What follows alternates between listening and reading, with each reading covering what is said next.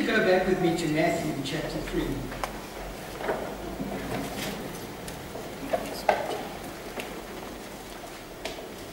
So you've got your fingers there, keep them there, we're going to get, get to this now.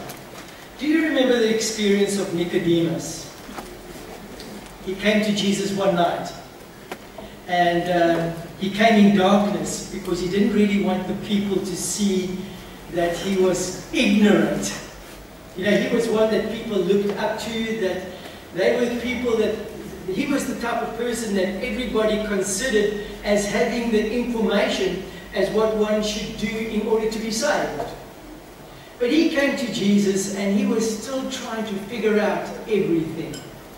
He wanted to get this news first.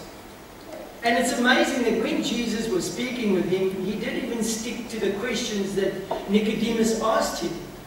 But it said to him that in order to be saved, you had to be born of water and the Spirit. Do you remember that? And this was kind of uh, not new to Nicodemus, but he couldn't fully understand it and somehow tried to play it down. You know, he, he asked the question, how is it possible for me to enter back into my mother's womb. You know, how is that possible that an old person can do that? The idea that's a really a good question. As, as, as weird as it might have sounded, it's a good question. And the reason why it was a good question is that some of us feel that when we get to a certain point in our lives that we're beyond change. That we're beyond rebirth.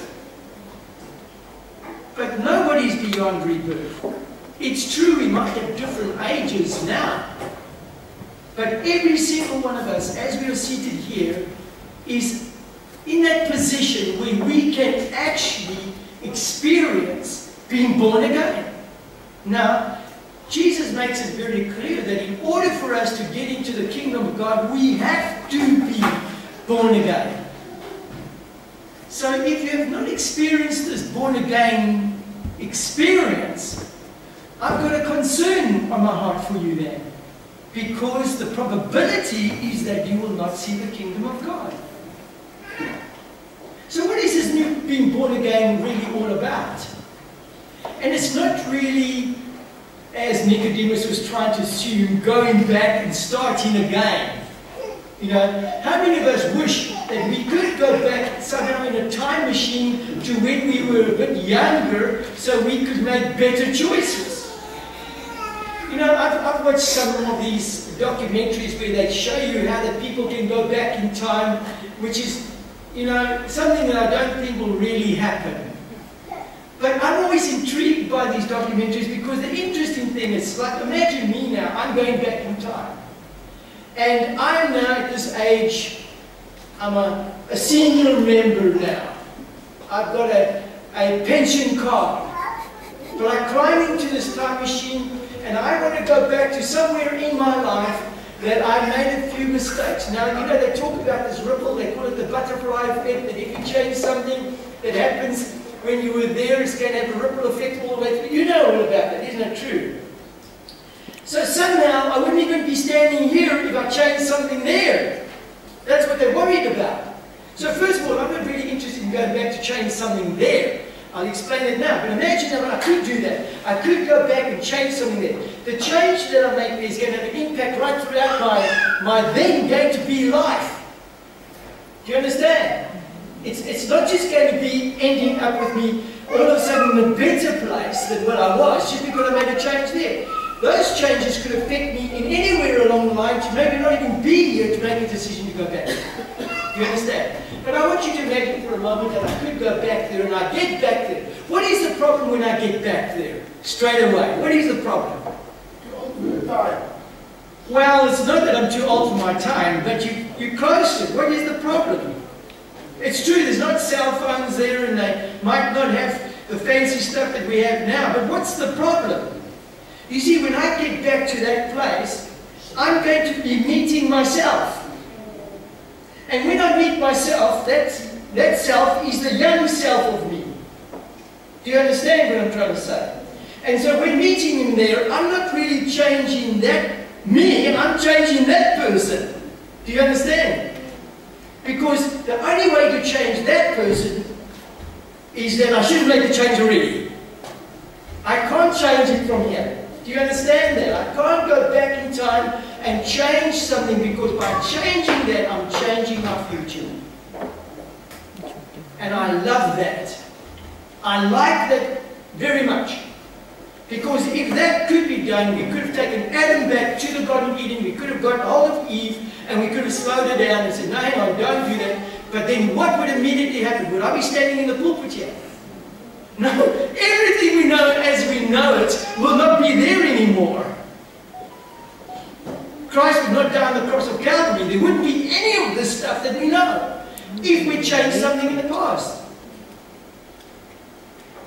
So the past can't be changed. As they say, it's water that's gone underneath the bridge. You can't change it. Dear friends, and that's something we have to accept. But you can be born again. You can start this life from now on as you wished it could have been if it was there. Do you understand? Anywhere along your journey, anywhere, I don't care what age you are, anywhere along your journey when you all of a sudden feel unhappy with a decision that you made that's causing a ripple effect onto you now, you can now, at this very moment, change that course. Do you understand that? You can be born again. and the Bible teaches me that God introduces this for a purpose. And we have a baptismal font, and the reason why we baptize by immersion is that as we like to portray it, it's like actually dying to what you were, and when you come out of the water, according to Scripture, you are a new creature in Christ. Do you understand that? All things are past, behold, all things are made new.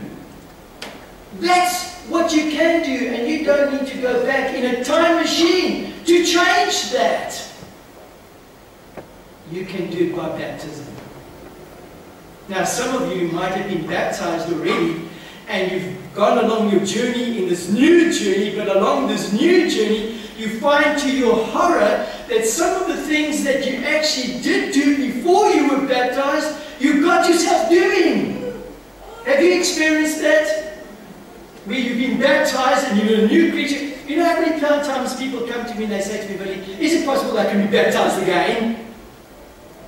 Well, yes, if you really want to, but there is another ordinance that God has introduced to actually replace when you get, when you get your feet dirty.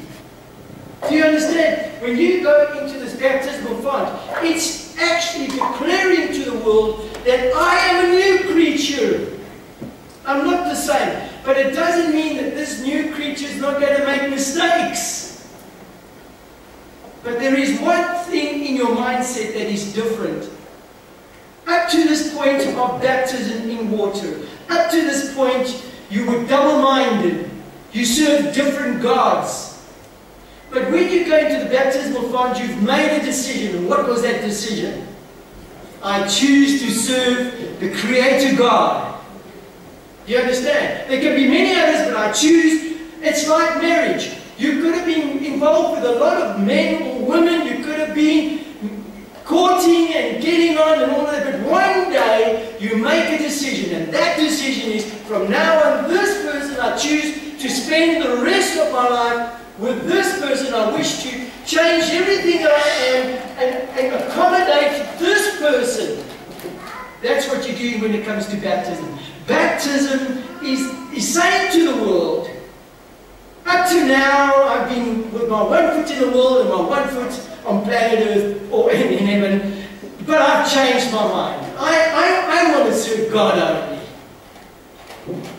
Do you understand? And this is like that declaration. This is like that time when we stand in front of the minister as married people and we make a vow. And we agree until death do us part. We will remain faithful to our commitment. Now, dear friends, along the journey, sometimes you wish you could change your mind. But I praise God that God hasn't left room for you to change your mind. There is nothing else you can do after being baptized. If you've been baptized, you can't return back and be baptized. No, then, then somehow the baptism lost its significance. It's like marriage. You can't, you, you can't change it. You're stuck. but I want to make this clear to you.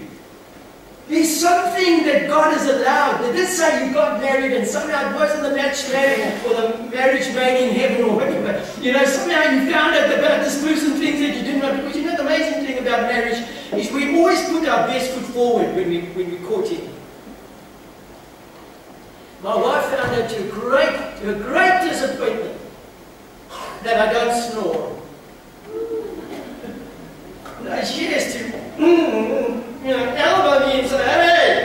Along. I, don't really hear any of that. I just roll over. And guess what happens when I roll over? I stop snoring. And she's happy with that. And we get along. I wonder sometimes when I wake when I wake up I've bruises. But and I want you to understand something about baptism. Along the journey, God is going to elbow you. Snoring. Roll over. Why? Why is he doing that? He could easily get up and walk away and say, I don't want any of this, but he doesn't. He's willing to accept you with all your quirks. And you know the most amazing thing out of it all is this. You are going to wish you could go back in time, even after your baptism. The difference, there's lots of us here. I was baptized 46, 47 years ago. And there were many times when I say to God, oh man, you know, I didn't know this. I need to be rebaptized. no, you know what God has introduced to, to replace that is the foot washing. And how often do we wash one another's feet? At least every three months. Do you know that that is a miniature baptism? In actual fact, Christ said to Peter, when he said, Lord, don't just wash my feet, wash my whole body. He said, uh-uh, that you did a baptism. But the part that got dirty now was your feet.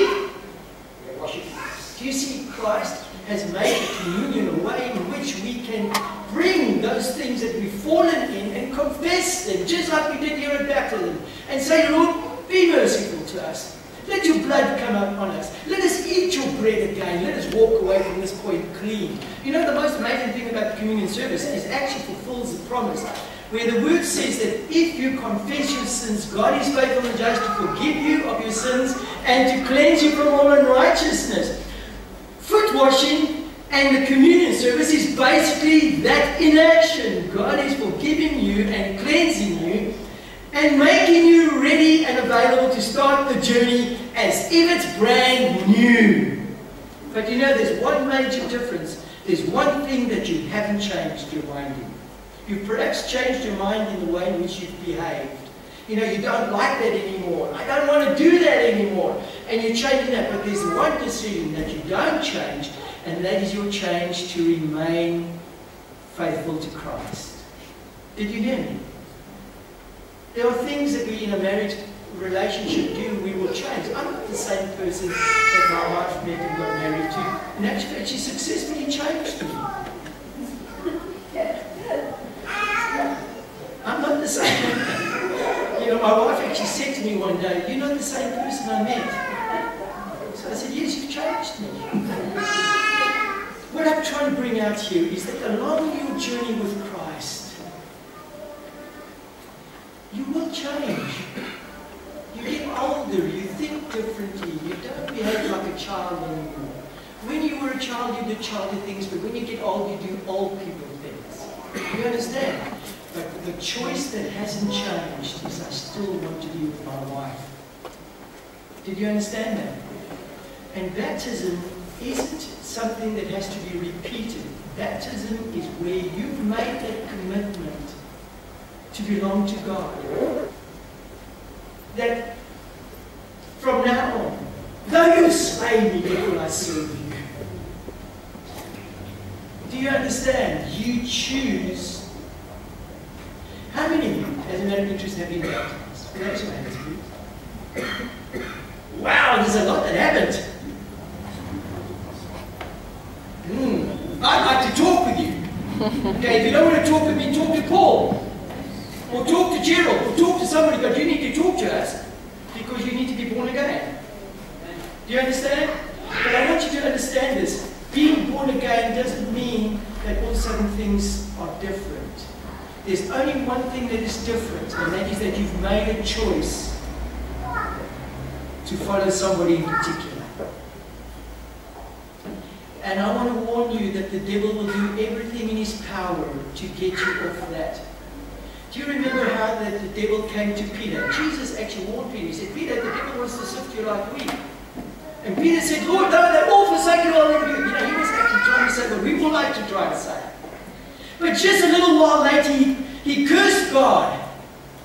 And he ran off, and he was in the, in the Garden of Gethsemane crying because he realized that he wasn't honorable to his commitment. You know, Jesus, when Jesus met Peter, he said to Peter, Follow me. Do you remember that? And Peter dropped everything he had and he followed Jesus. It's interesting, dear friends, that Christians are people who follow Jesus. That's why we are called Christians. If you're a Christian, but you're a person who's following Muhammad or you're following whatever, can't call yourself Christian. Do you understand? A Christian is a person who has chosen to follow Christ. Now, if your lifestyle is not in accordance with that, you need to get refocused because he is the one. Now, Peter lost focus. He was afraid. In the garden, he was afraid. He was scared for his life. You are I'm not him. You are him, you're not him. No, I swear because the Christians don't swear.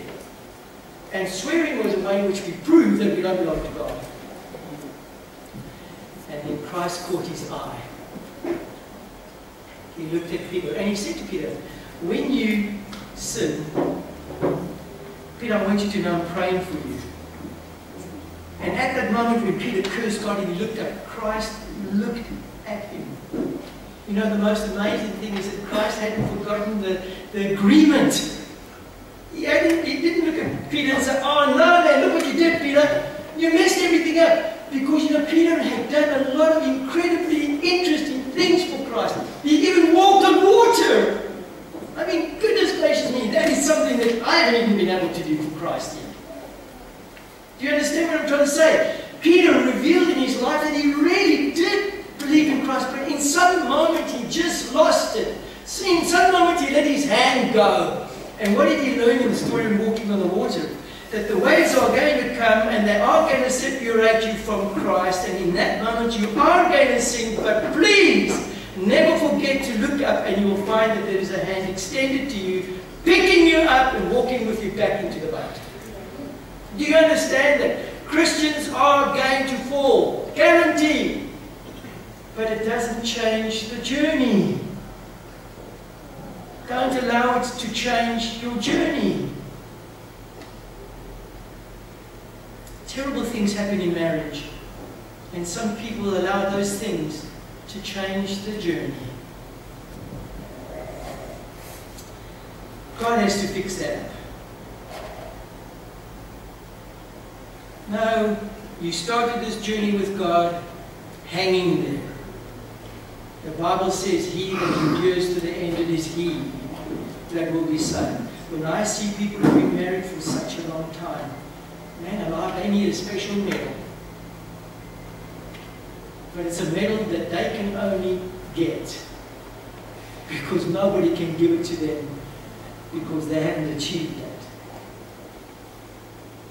So baptism is the beginning. Baptism is all, and I want you to notice something. In the Word of God, we just read there, John says, well, actually, in John chapter 1, John says, I baptize with water. Now, I want you in some way just to replace the word John, and you're going to hear these words. Billy is baptizing with water. Did you hear that? Now, in the story of Jesus, the interesting thing about Jesus is that he never once baptized with water. Did you hear that? Never in his whole life did he ever baptize with water. His disciples did, but he didn't. And I was intrigued by this, you know, because I want you to understand something. I'm, I'm John the Baptist. I'm Billy the Baptist. I'm going to be baptizing you, but there's nothing about me, there's nothing in me that's magical that's going to change you. Because you need to be baptized with water, which I will do, but that doesn't change you. But you need to also be baptized by what? By the Spirit because it is the Spirit that changes. Now, the interesting thing that John told me, I baptize you with water, but one is coming after me, of whom I cannot even loosen his sandals. He's coming after me, but he's not going to he's going to baptize you with what? You see, it is Christ, dear friends, that you genuinely need after this baptism. Because I do what I call a symbolized baptism. My baptism is what John's baptism called. My baptism, the water baptism, is called a baptism of repentance. Did you hear that? And the word repentance in the Greek is what? You all know it by now. It's metanoia. It's the Greek word metanoia. The word in the Greek word means you have changed your thinking. All I'm doing when I baptize you is I acknowledge because you see, I've met with the candidates that are being baptized, and I found from them that they've chosen to follow Christ. What I'm doing by baptizing them is acknowledging to you as the witnesses that these people have chosen to follow Christ. But I want you to understand something very carefully here, dear friends. It doesn't mean they're perfect yet but they are going to be.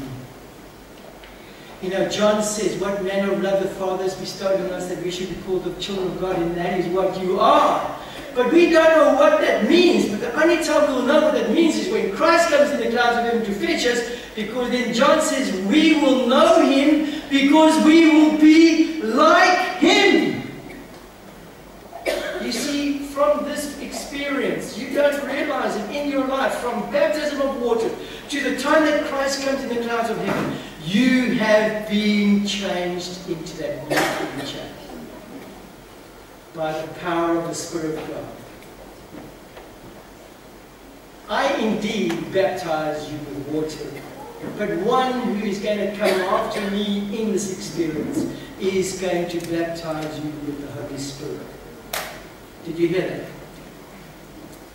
I do want to tell you this, I'm going to be doing some presentations on this very concept of baptism of the Holy Spirit. Because I do think it's important for us to understand. We sometimes confuse things.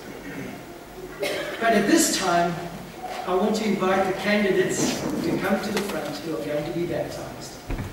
Will you please come forward? And you want to go And I'm asking Gerald, he's on his way. I want Gerald and uh, just to bring you to the front, we're not uh, welcoming them yet because what hasn't happened yet? They haven't been baptized yet, but we are. I want you to stand over there. I want you to look at everybody. And I want them to look at you. What is the problem with this picture in front? Ladies, what is the problem with this picture in front? No men. No men! Dear friends, I want you to understand something. Baptism is not just for women. Do you understand that? Baptism is also for men. You also need to be born again, not just the women. But it's wonderful for me. I've met with them. I've managed to, to remember their names. And uh, I'm going to introduce their names just from here. The first one is Kim. Now, I don't know if any of you know Jerome. He talks a lot. You know, he's very... Do any of you know Jerome? Will Jerome please stand? Okay, this is Jerome. And I want you to know something about Jerome.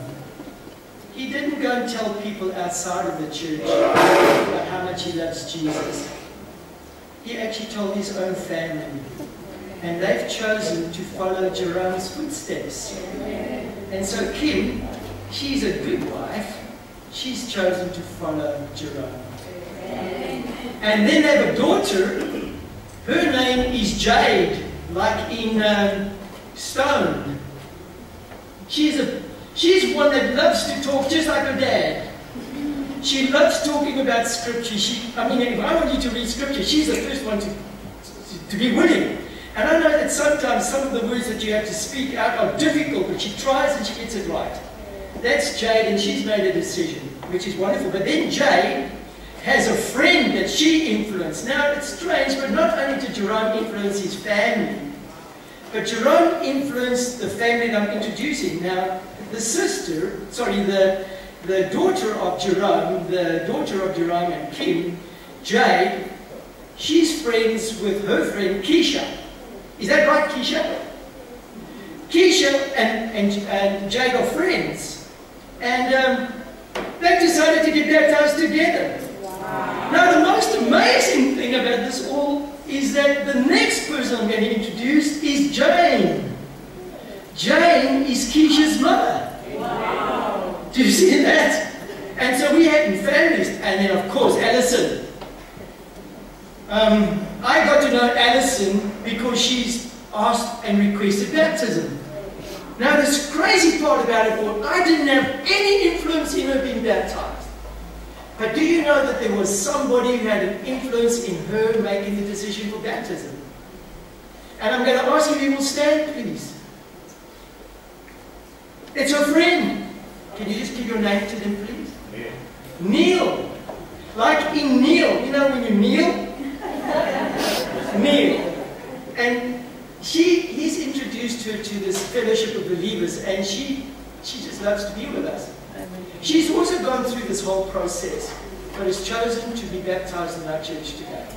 So Alison, welcome. Okay? But you're not, we haven't done, there's no introduction that are members yet they still got to go through the watery grave. And then they will become part of our family. As I, as I mentioned to you, this is, um, Jane is a friend of, sorry, uh, Keisha is a friend of Jay. And it's wonderful for me to, I've invited them both to come into the water because they want to start this journey together. And they know how cold this water is. and I want to ask you something before I baptize you, Bishop, do you believe that Jesus died for you? Um, have you decided that you want to follow him wherever he leads you? Or will you remember that even though you fall sometimes, that you can get up and ask him to forgive you and that you will forgive him? And then you're going to follow him again. Carry on following him. Okay, so do you believe that Jesus died for you? That he rose from the grave for you? and it is not in heaven pleading for you. Do you know that? Oh, that's good. Now, on the strength of her witness, and her testimony,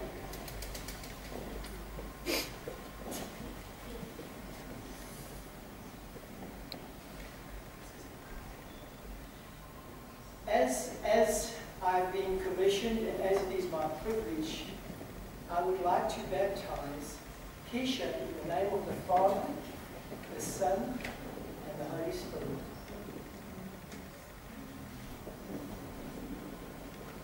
Amen. Amen.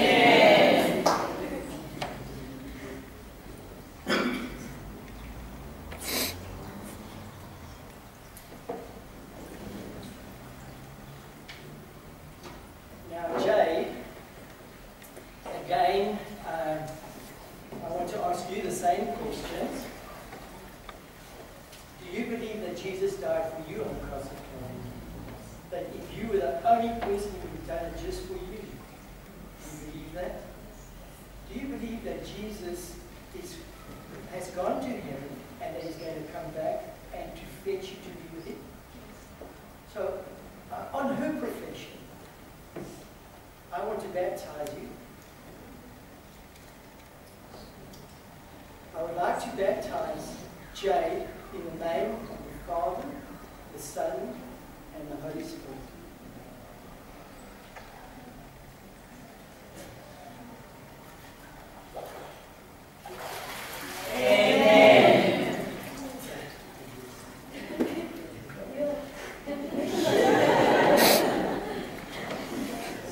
That is a yell because you're so excited. now Keisha's mother, Jane, I'm so glad that she's coming in. You know, she said something to me when we were talking. She said, you know how old I am? I'm going to tell you. but she said that she's discovered the truth in this church. And the, truth, the truth has set her free. Amen. And somebody's going to stand there also.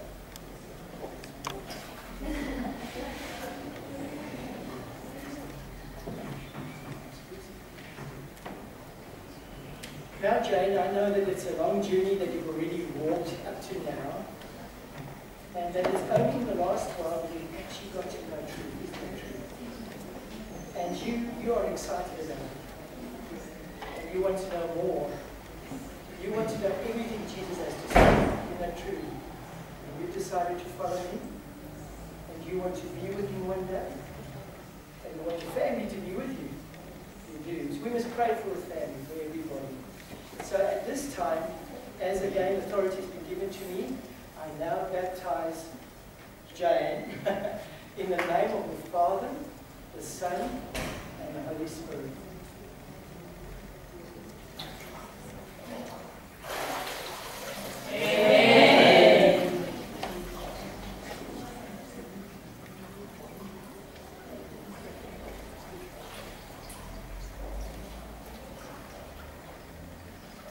You know, the way they are doing this, you would say they practiced a while. they know exactly how to hold the towel.